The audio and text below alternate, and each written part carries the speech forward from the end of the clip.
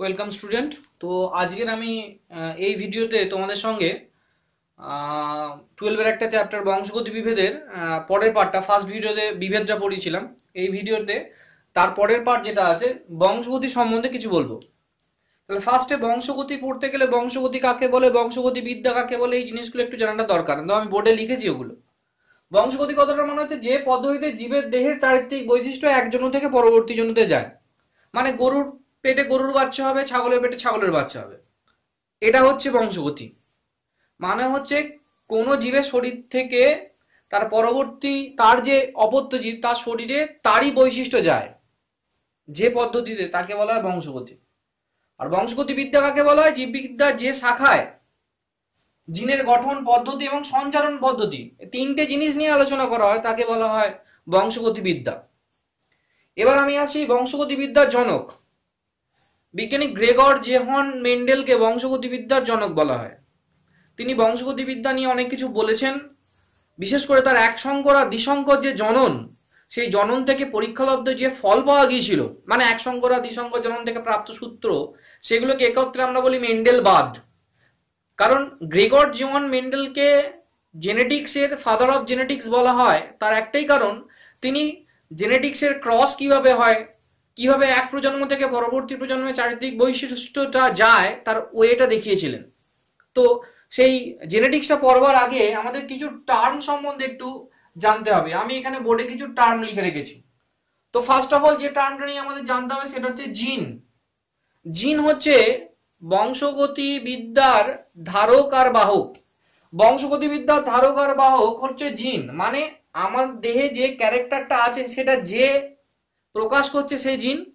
আমার দেহ থেকে পরবর্তী দেহে বৈশিষ্ট্য সঞ্চারিত হবে, তার দেহে ওই ক্যারেক্টারটাই শো হবে। ওই ক্যারেক্টার মানে ওই গ্রুপের ক্যারেক্টার শো হবে। সেটাকে যে প্রকাশ করবে সে হচ্ছে জিন। এবার আমি আসি অ্যালিল।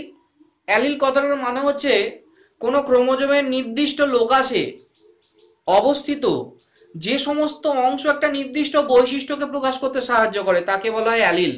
এর সঙ্গে একটা কোশ্চেন আছে অ্যালিলোমর্ফ কি? অ্যালিলোমর্ফ সাধারণত হোমোলোগাস ক্রোমোজোমের রেসপেক্টে আলোচনা করা হয়। মানে দুটো ক্রোমোজোম হোমোলোগাস ক্রোমোজোম মানে হচ্ছে এক্ষুনি বলব, এই দুটো ক্রোমোজোমে সেম লোকাসে এই দুটো জিনিস অবস্থান করছে। একটা ক্যাপিটাল টি একটা স্মল টি বা দুটোই ক্যাপিটাল টি বা দুটোই স্মল টি এরা বসলে একটা চারিত্রিক বৈশিষ্ট্য শো হয়। আমরা জানি এটা মেন্ডেলের মটর গাছের দৈর্ঘ্য রিলেটেড দুটো অ্যালিল তাহলে কোনো হোমোলোগাস ক্রোমোজোমের বিপরীত লোকাসে অবস্থিত যে অংশগুলো একটা নির্দিষ্ট বৈশিষ্ট্যকে বোঝাতে সাহায্য করে তাকে বলা হয় অ্যালিল। জিনোটাইপ? জিনোটাইপ কথার মানে হচ্ছে কোনো জীবের জিনগত বৈশিষ্ট্যের যে প্রকাশ হয় তাকে বলা হয় জিনোটাইপ। ফিনোটাইপ কোনো জীবের বাহ্যিক চারিত্রিক বৈশিষ্ট্যের প্রকাশকে বলা হয় ফিনোটাইপ। তারপর আছে জিনম।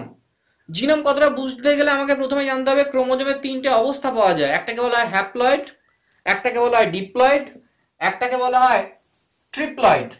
হ্যাপ্লয়েড কথাটার মানে হচ্ছে কোনো একটি কোষে একটা ক্রোমোজোম বা প্রত্যেকটা ক্রোমোজোম একটা করে সেটে আছে, তাকে বলা হচ্ছে হ্যাপ্লয়েড। কোনো কোষে প্রত্যেকটা ক্রোমোজোম একটা করে সেটে আছে। এখানে তিনটে ক্রোমোজোম আছে, তিনটি একটা করে সেটে আছে। পরের যে কোষটা পেলাম, সেখানে দেখলাম তিনটে ক্রোমোজোম আছে, কিন্তু প্রত্যেকে দুটো করে পার্ট আছে। তখন সেটাকে আমরা বলব ডিপ্লয়েড অবস্থা।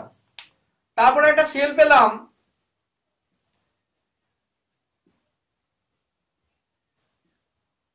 সেখানে দেখলাম যে প্রত্যেকটা ক্রোমোজোম তিনটে করে উপস্থিত আছে।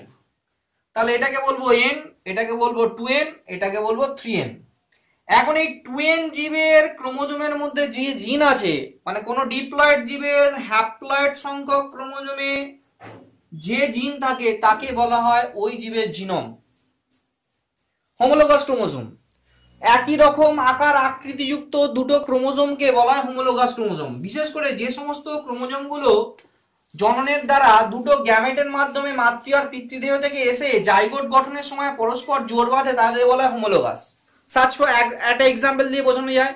যে মানুষের ক্ষেত্রে গ্যামেটে মেল গ্যামেটে থাকে বাইশটা অটোজোম একটা এক্স বা ওয়াই যে কোনো একটা সেক্স ক্রোমোজোম থাকে ফিমেলে থাকে, বাইশটা অটোজোম আর একটা এক্স ক্রোমোজোম।